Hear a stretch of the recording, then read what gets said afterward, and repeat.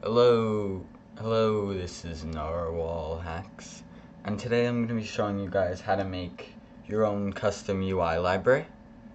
Because recently I was looking at, um, I was looking at using, as you guys probably know, I'm terrible at making UIs, so I was looking at using UI, like Aztup and Wally's UI libraries. So like here's Aztup's UI library and as you can see it's pretty good. But like I was looking at using their UI libraries because I can't make a UI for my life. So I was looking at using their UI libraries. And you can use theirs fair enough. But like say you want a little more functionality than just the um, than just what they let you have. Then you have to make a, um, then you make your own. So in this video I'm going to show you how to make your own UI library. Also I'm going to release this uh, on my UI library. So first of all let me show you what I've made. So I've made, uh, no, never mind. Alright, let's just get straight into making the UI library.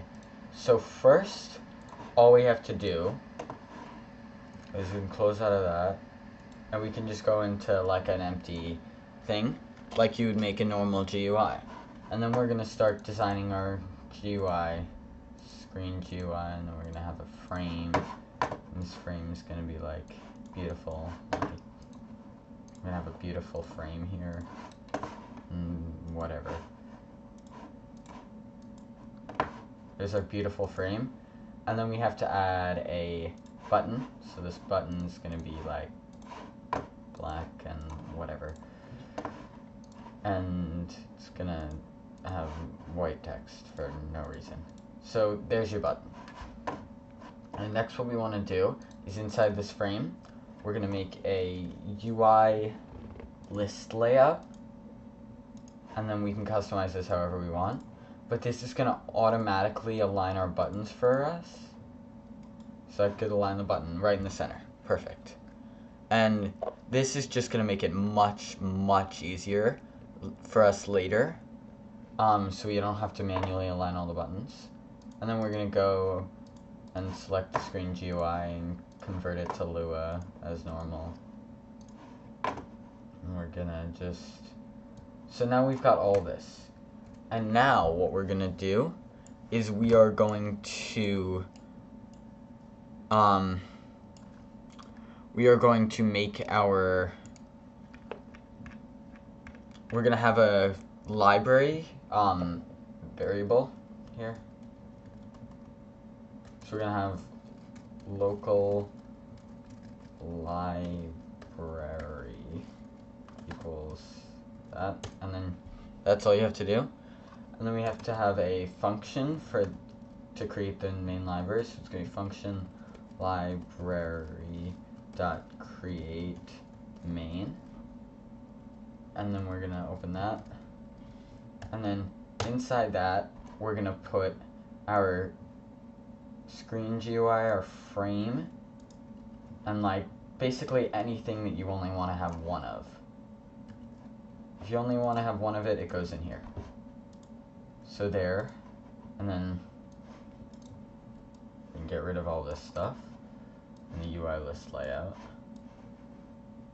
And then we're to put this stuff, oh, I almost forgot. To, for screen GUI.parent, it's to be game.core We're to take screen GUI, frame, and UI list layout and then we're going to take the UI list layout also. And then those are all going to just go right in there. So that's our library create that create main. And then next we're going to add another little um it's gonna we're gonna add another variable that's gonna be this can be named like whatever you want but i'm gonna name it local gamer library. Is it spelled right? Great. I know half this probably isn't spelled right. Anyways, try to spell it right. Function. Then we're gonna have a function that's gonna be gamer. I cannot type today. Gamer library dot L in there. It's gonna be gamer library dot um uh, dot button. And there's our function. And we're gonna take our text box put it in there. We're gonna take all this and put it in there. And then the next part's what kind of confused me. So we have to take the, uh, just doing this so it looks nicer. Alright, so now we have to take this function and we have to make it so when we call this function we're able to call the name and the callback. So what we have to do is we're going to do function game library button name comma callback and then uh, it's going to be text box dot Do not call the text box name it? Oh, oh it's probably because it's default name. Text box dot name equals name. And then we're gonna call the callback, and then we probably should make the text also that. Should text box dot text equals name too. And then we're gonna do the callback. This was the part that confused it, that confused me.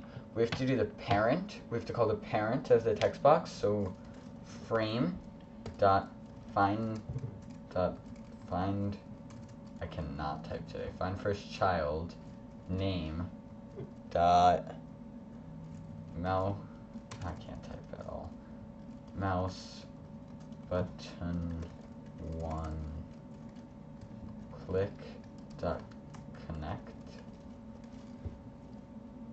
and then we're gonna put right here call back.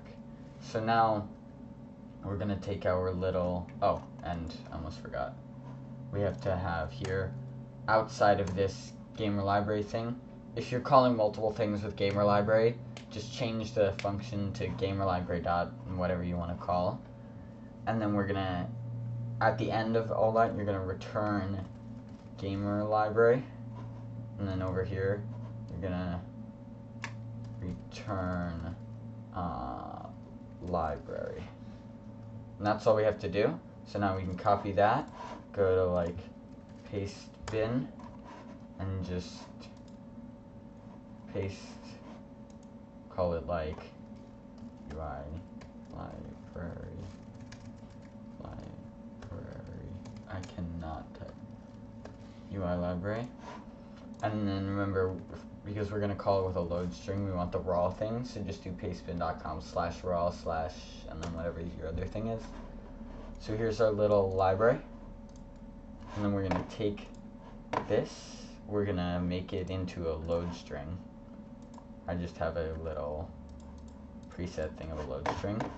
So we're gonna take this make it into a load string. Then we're gonna say local library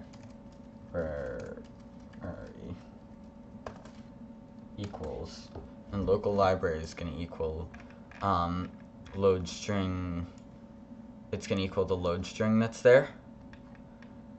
And then what we have to do is we have to call a create did I call create main? Yep. So we got to call local main equals library dot create main.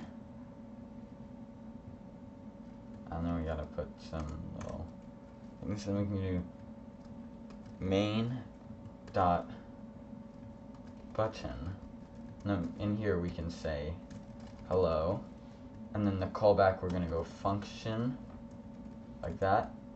And then go down here. And it's gonna end god and we're gonna go right here. And here's our callback. So we can go print. So you can put whatever you want here. Hello. And now if we go into vacuum simulator, just using this as my example because no one ever it errored already. What?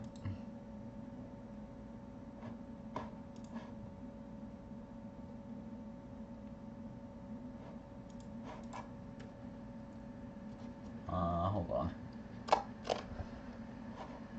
Maybe it would be better if we just wrote this in here. So local, local, actually we probably just copy it.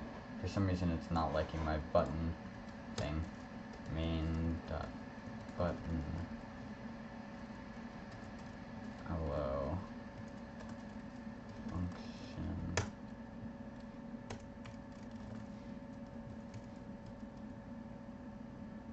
Oh, see the problem.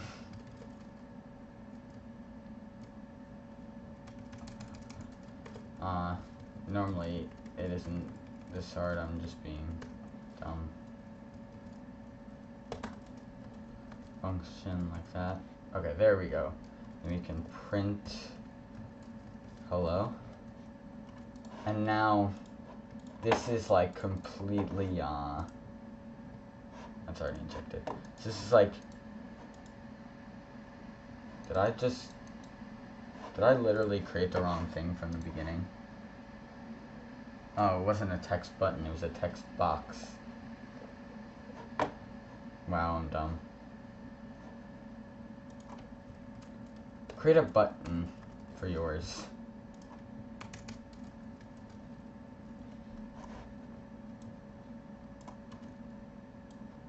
Make yours a button and not a text box. I'm surprised I didn't see that until now. That's embarrassing. Don't make yours a text box, guys. Now we need a new paste bin. Just gonna spam some random characters.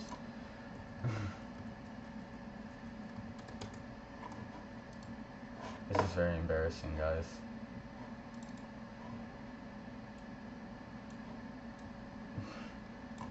Alright, so now that we have a thing that is actually what it's supposed to be,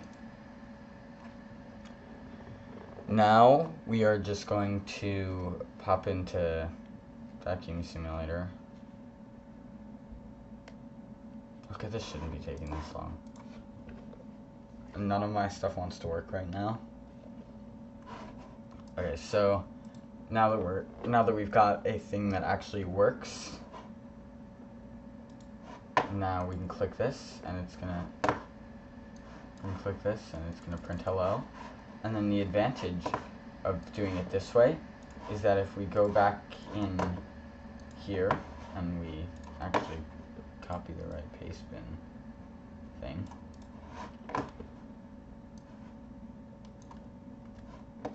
um, if we go in here we can do main dot button and then we can make a million different buttons. This button's gonna be hi. Hi. And we can create main dot button lol.